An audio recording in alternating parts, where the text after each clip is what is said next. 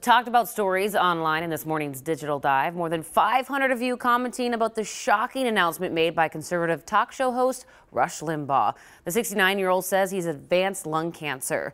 Now, Limbaugh made the announcement to his millions of listeners on his radio show yesterday, saying his diagnosis was confirmed by two medical institutions just last month. He said that he began having shortness of breath, which is why he decided to go see a doctor.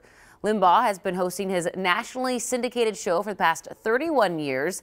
He's an ally to President Trump, among other Republicans, and typically has it out for Democrats.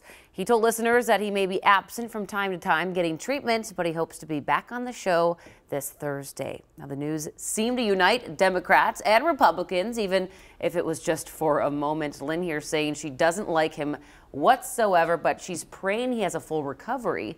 She added, in the meantime, he needs to step away from the mic, just like he thought Congressman Elijah Cummings should have done. And Mariah shared the same sentiments, saying that she doesn't agree with a lot of his, a lot of his views, but she hopes he is victorious in his fight against cancer. We do have more about this story posted right now at kare11.com. Uh, but yeah, a lot of people, you guys, pretty shocked to hear this yeah. yesterday. Polarizing yeah. guy. I mean, I think he's yeah. got 20 million listeners a day, but I mean, people either love him or hate him, but it's good to see people at least, you know, wishing him the best. Uniting together. Sure wish him well. All right, Sven,